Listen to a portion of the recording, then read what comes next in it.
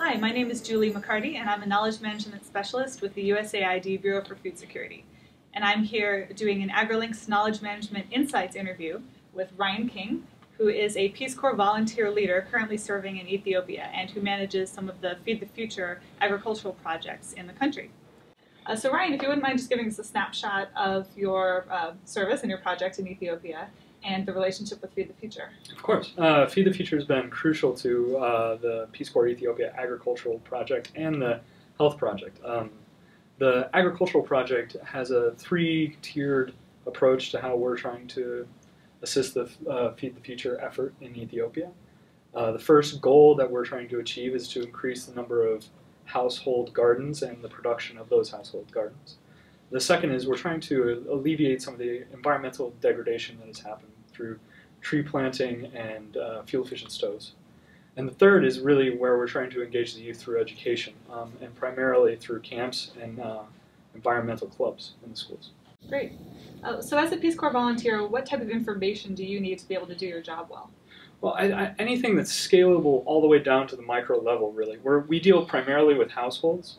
Um, so we, we're trying to find best practices for small scale gardens, um, small scale tree plantings, micro orchards, agroforestry projects that work in the backyard, anything that can really work on that really small scale. And we want to get the very best of what we can utilizing appropriate technology. So uh, Peace Corps really strives to have a very low funding, low cost approaches to development, and, and we're really looking constantly for better ways to do that. So having the up-to-date technical information about the actual ag science that you're working with is very useful. Oh, crucial! Absolutely crucial. We we, we try to incorporate the best uh, best best resources that we have available. Um, it, it's sometimes a challenge to, to get the, the very best and newest information out to our volunteers, but uh, it is something we are constantly striving to do better at. So then tell us a bit about the challenges of obtaining this information, uh, bandwidth issues both for volunteers and for the communities that you're serving. Ethiopia struggles with a very weak telecommunications sector. We, uh, we, we have bandwidth connection issues and, and, and, power outages on a consistent basis throughout the country. Um, dispersing information, even when we receive it as a post to our volunteers in the field, is a constant struggle and one that um, we've tried to take some innovative solutions to. So, uh, along that lines, with the innovative solutions, how has Peace Corps Ethiopia dealt with delivering information to its volunteers who live in these areas with low bandwidth? Right. So, the, initially, we, we, we went with paper products so that we wouldn't have to rely on any, any, any technology. But actually, that, is, that, that proved to be a very expensive solution where, where we were purchasing $50 manuals on agroforestry and $40 manuals on small scale gardening, and it didn't really scale well because we were having to do that with every iteration of volunteers that came through. And we have about 240 volunteers in the field.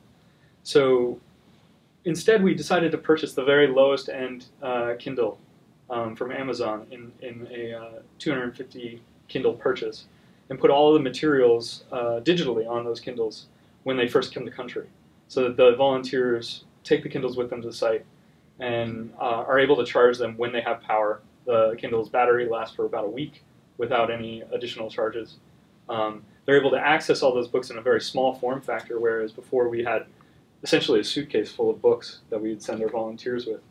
Um, in addition to that, when they come back to the post, we're able to refresh their Kindles with the newest materials mm-hmm. as they come available to us and we buy as an institution, rather than you know, an individual book basis. And I was also wondering, um, I hear a lot about video being a useful medium for training um, in communities for Peace Corps, would it be useful to have more hard copies since you don't have um, access to uh, you know, streaming video? Yes, exactly. Uh, DVD, um, I think, is the way to go there because streaming it live, uh, the internet isn't capable of supporting that in, in Ethiopia. Uh, the, the, ba- the bandwidth just isn't there to really stream video live. But I do believe that video is really worth having that physical demonstration. If you're talking about a concept, seeing it happen in front of you is so much more powerful than hearing it described or reading about it. It's, it's just a challenge of finding how to best bring those videos to the field in a way that isn't reliant on the, on the interconnectivity of, of the volunteer. So then, uh, based on your experiences, what recommendations would you make to the development community uh, as to how we can do a better job delivering necessary technical information uh, to volunteers or um, you know, implementers in the field? Yeah, I mean, from my perspective, it, there's a huge time lag from best practices being discovered in a lab to best practices being implemented in a field, and a lot of that it comes from the the 10 year, 12 year filter down that it takes to get those materials printed and out into the field. I'd, I'd love to see a database of some kind with small scale, uh, uh, technologically appropriate solutions out there that Peace Corps volunteers can access, or better yet, Peace Corps posts can access and populate things like Kindles mm-hmm. prior to the volunteers getting there, and, ha- and having real good scientific basis for what we tell our volunteers and how we train them. And then what about your beneficiaries? How would you recommend that they, going forward, best access all of this great information so they have equal access?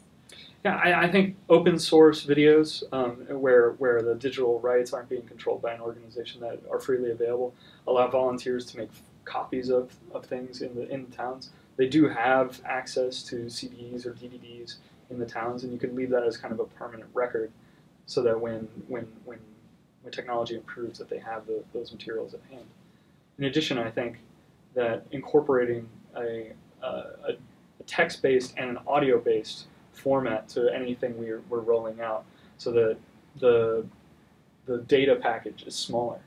Uh, you know, a video could be two, three gigabytes, whereas a, an audio of an audio transcript of that video mm-hmm. could be 100 megabytes. So you're talking about a scalability factor there that's much smaller, and you could incorporate a lot more on a single disk. All right, well, Ryan, I really appreciate you taking the time. Thank you so Thank much. Thank you very much. Yeah.